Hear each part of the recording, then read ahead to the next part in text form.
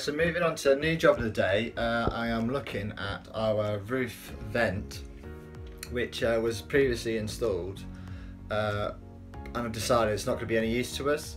It's a, um, it's like a rotating um, spinning top, but it's it's totally in the wrong place. Um, and what I've started doing is actually started stripping it out. Um, I don't know if you remember, but basically had these three, um, these three bits apply on the underside, like so. Uh, and what I've done, I've literally just levered them out using a, um, uh, a nail bar. Really handy piece of tool. Um, and literally just like hooked it out. And it's uh, popped, looks like uh, some sort of Sikaflex material. It's super strong took, took quite a while to actually get it out. Uh, and annoyingly, of course, left with all this sort of crap under the, on the underside. And I say, this vent had to go, it just, it wasn't working.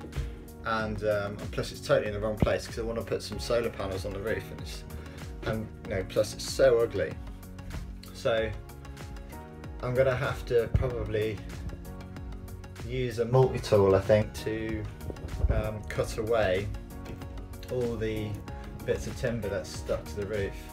Um, I'm going to stick and remove this top section. This is going to be annoying as well because that's all uh, sealed in as you can see and then the, the roof itself is is even worse. Let's actually have a quick look at that.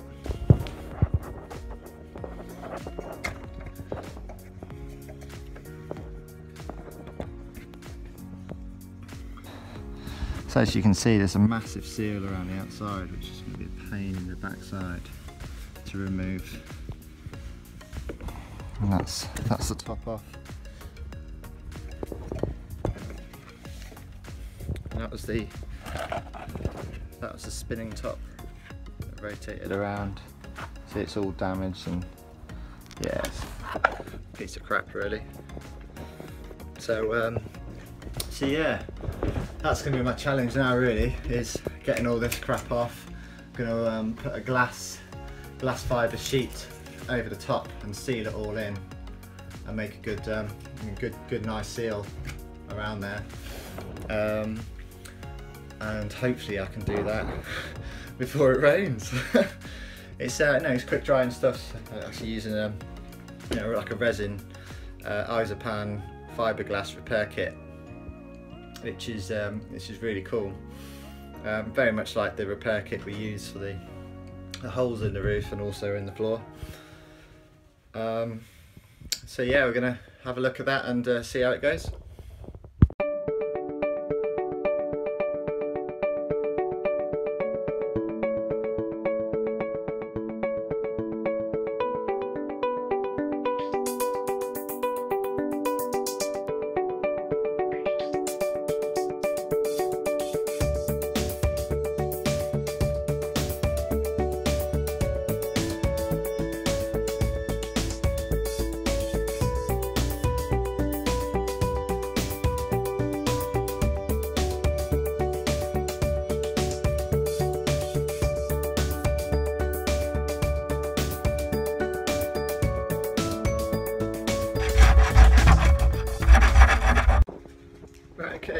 As you can see, um, I've managed to get it out and um, I've managed to give it a little bit of a clean up, which is good. It's in preparation for the uh, fiberglass going on. Oh, annoyingly, you've got this like, rib section here that they've actually cut through. Whether you can actually see that turn sideways, yeah. Rib section there, which is really annoying um, because it makes it harder to you know, put the fiberglass across.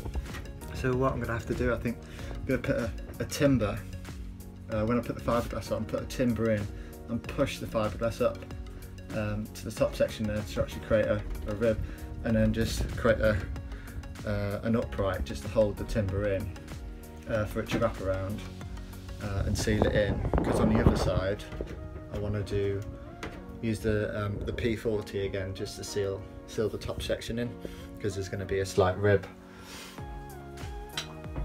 Um, yeah, so that's uh, that's where we're at now. Really, is uh, it's just doing the preparation work for the, uh, the fiberglass kit. Yeah, so this is the Isopon fiberglass kit, and so it does come with all the gubbins again. So you get your gloves.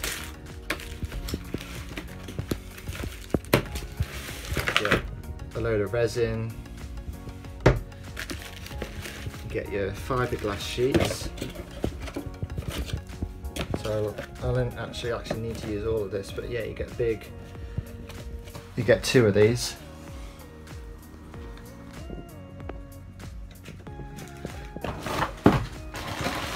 So there's the other one.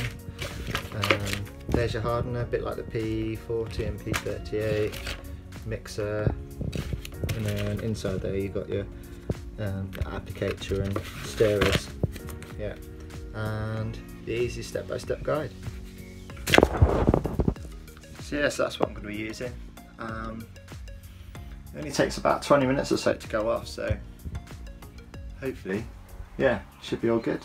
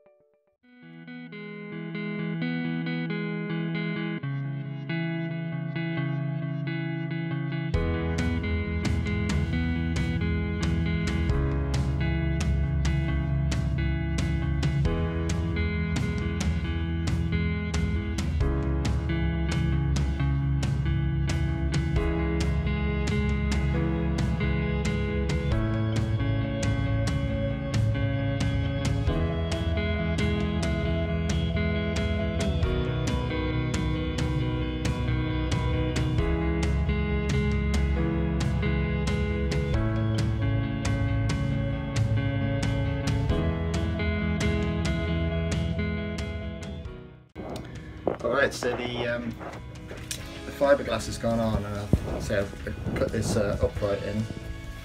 Uh, so just measured it so it was about you know 10, 10 15 mil um, longer than what I needed it to be with on the, the base of this timber at the very top.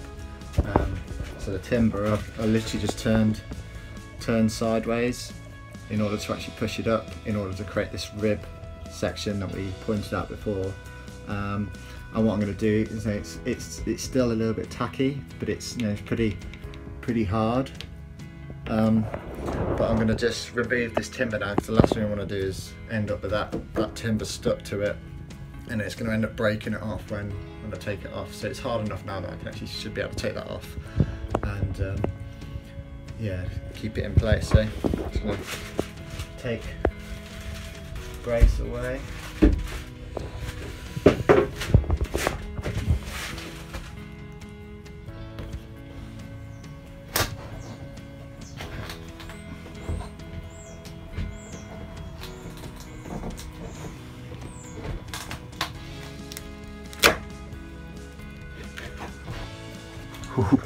Lucky.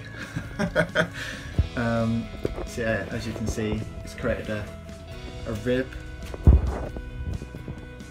rib, nice rib just there to actually follow the outline of the outside of the van, and then we'll be able to um, once that's fully set, be able to clean that all up, nice, sand it all down, make a nice finish, and that that'll um, yeah stay bit nice. But to say it's all going to be covered up in the inside of the van, so it's not going to be you know, create too much work in the inside. But the outside is the more important.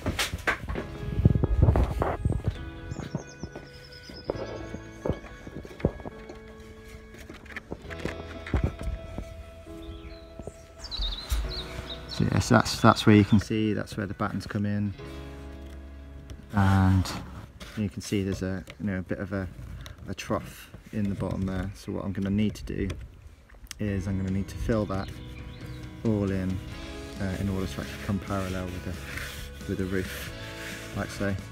Um, I'm going to use P40 because it's a you know, fiberglass based filler in the in the groove.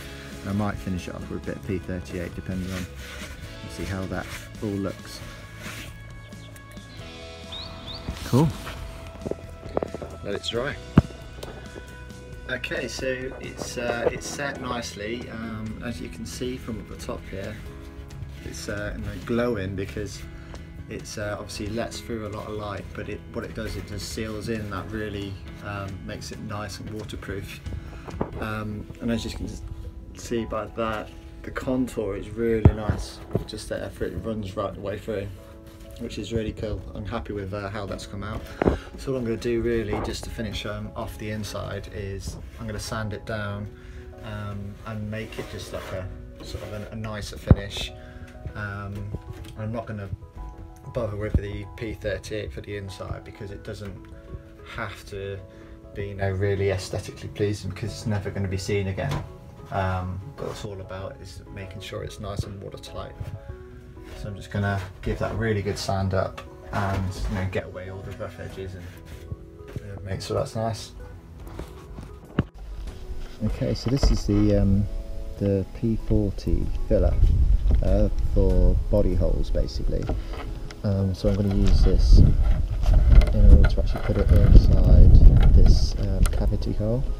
Um, so it's like a, a fiberglassy mix inside which you mix with a hardener like so and what it does it goes off rock solid inside the hole. Um, I'm going to be using a mixing sheet. So this is actually on the kit so you can draw a line for B which is for um, P40 and A is for P38 which is more of a, uh, a surface filler. So we're going to use uh, P40 and fill in the uh, fill in the gap isn't it? So only mix as much as you think you need, rather than mixing too much, because you'll have loads of excess over and you can't really do anything with it.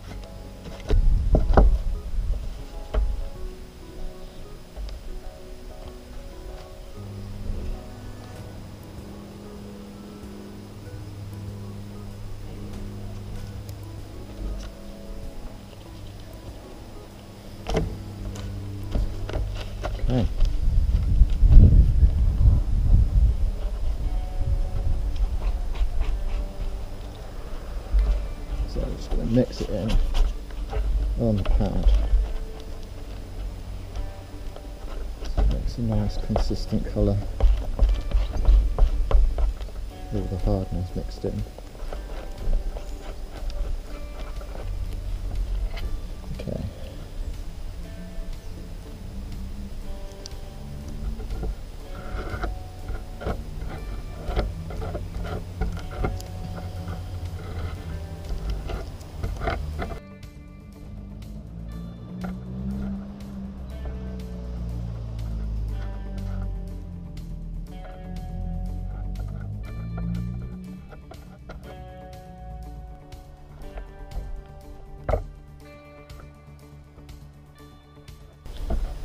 So what you're looking to do here really is just apply it so that it is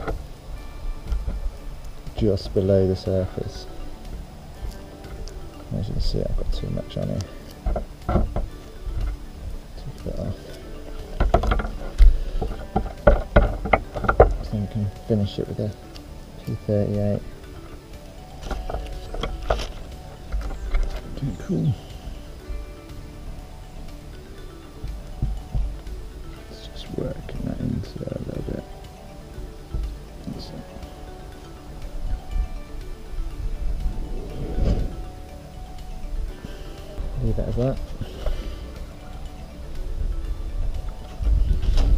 Okay, so the, um, the filler has completely gone off, nice and solid.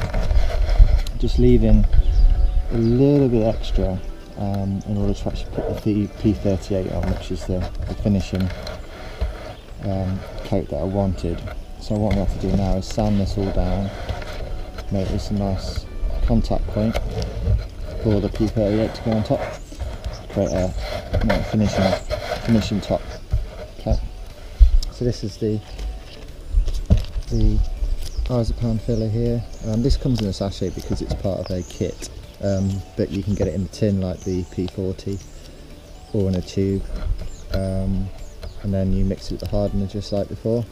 But instead of using line B, you use line A because you don't need as much hardener this uh, because yeah, you're not going to be using as much. So, just going to go ahead and start sanding.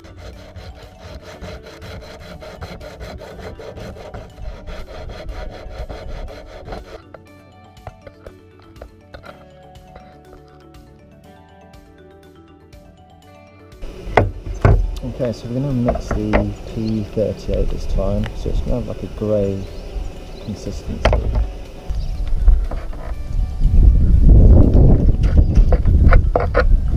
So this time we are looking to just get slightly over the top of where our points are. This is a lot softer stuff so it can actually be sanded back a lot easier than the fiberglass filler.